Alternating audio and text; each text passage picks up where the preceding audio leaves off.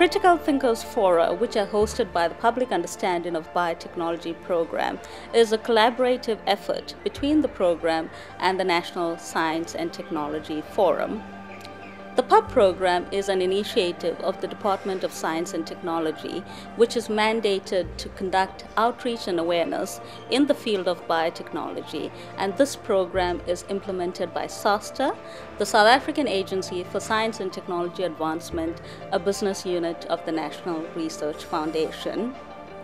Topics discussed so far at such fora include the role of biotechnology in agriculture and food security, acid mine drainage, and the contribution of the South African biotechnology sector to the growth of our country.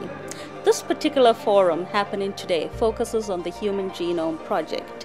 DNA, which we all possess, has all the genetic information or contains all the genetic information which makes us who we are.